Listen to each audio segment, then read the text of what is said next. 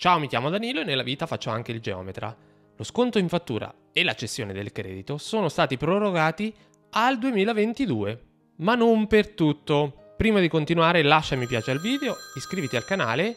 e verifica le condizioni dell'abbonamento che se vuoi supportare la produzione dei contenuti che faccio, il lavoro che faccio qui su YouTube, puoi abbonarti e accedere ad una playlist di video che aggiorno settimana per settimana eh, che sono esclusivi per gli abbonati la cessione e lo sconto finalmente sono stati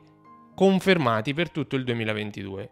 Ma che cos'è la cessione e lo sconto prima di dirti perché non sono stati prorogati per tutti i bonus? La cessione e lo sconto eh, in fattura sono quelle opzioni alternative alla fruizione diretta del credito maturato dalle agevolazioni per la ristrutturazione edilizia piuttosto che di efficientamento energetico, opzioni che danno possibilità di eh, non sborsare economicamente tutta la cifra oppure di vedersi riattribuita la cifra che uno ha sostenuto magari o tramite un finanziamento o con le proprie forze in modo veloce e relativamente subito rispetto alla fruizione in 5 o 10 anni prevista dalle normative. La cessione e lo sconto vengono fatte la cessione può essere fatta verso tutti i soggetti piuttosto che anche alle eh, banche o agli istituti eh, finanziari, alle, mm, eh, alle, alle società di assicurazioni. Lo sconto in fattura viene applicato dai fornitori, direttamente dai fornitori, cioè ti possono scontare il credito maturato pro- sulle proprie competenze, non su quelle di altri fornitori. L'articolo 121 del decreto rilancio del 2020, del decreto legge 34 che ha introdotto il super bonus, ha regola, norma la cessione e lo sconto ed elenca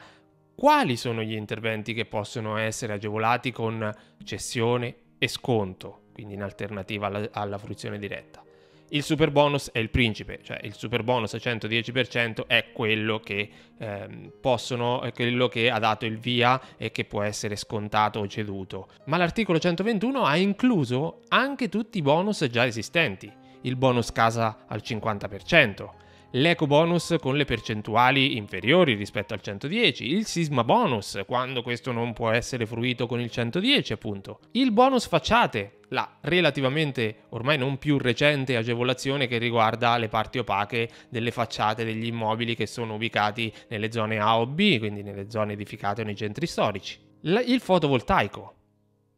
le colonnine di ricarica dei veicoli elettrici, Ecco, tutti questi interventi, che sono di ristrutturazione piuttosto che di ehm, eh, efficientamento energetico, possono essere agevolati e il credito maturato può essere ceduto o scontato. La norma prevedeva fino al 31-12-2021 la cessione e lo sconto per tutti gli interventi, compreso il super bonus. La legge di bilancio 2021, quella del 30 dicembre scorso, aveva inserito il comma 7 bis all'interno dell'articolo 121 che prorogava al 2022 la cessione e lo sconto per quanto riguarda il super bonus. Proroga, inserimento delle quali ti ho parlato in recenti video, che era subordinata all'approvazione del Consiglio dell'Unione Europea, che è arrivato lo scorso 13 luglio, ne ho parlato in recenti video, quindi vatteli a recuperare se non, anche nella live, quindi vai a recuperare questi video che possono esserti molto utili. Attenzione però, come ti ho detto, la proroga al 2022, quella contenuta nel comma 7 bis, è solo per il super bonus, non è per tutto. Quindi interventi sisma bonus 110%, sì 2022, eco bonus 110%, sì 2022, colonnine di ricarica e fotovoltaico congiuntamente realizzati al 110% con gli interventi trainanti, sì al 2022, mentre l'eco bonus classico, ordinario, il sisma bonus ordinario, eh, le colonnine di ricarica piuttosto che gli impianti fotovoltaici o la ristrutturazione al 50% per le lettere A e B del TWIR,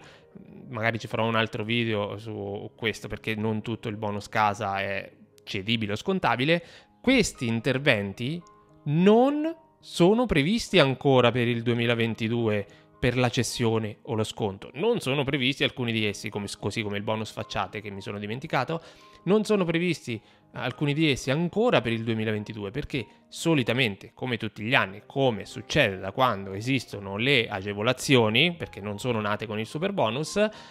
anno per anno, a fine anno, con la legge di bilancio, vengono prorogati per l'anno successivo. Il 50% non esiste di per sé, c'è il 36%. Il 36% aumentato al 50% viene prorogato anno per anno, così come il bonus facciate che è nato nel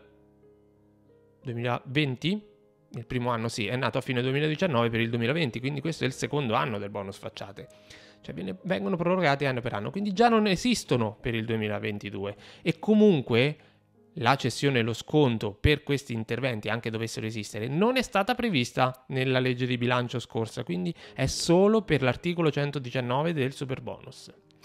Che cosa ci dobbiamo aspettare? Ci dobbiamo aspettare che a fine anno vengano prorogate tutte queste agevolazioni, come eh, succede solitamente, e venga anche introdotta una proroga o un allargamento per la cessione e lo sconto dell'articolo 121 anche per queste per gli anni successivi, per l'anno successivo, per il 2022. E così abbiamo risolto il problema.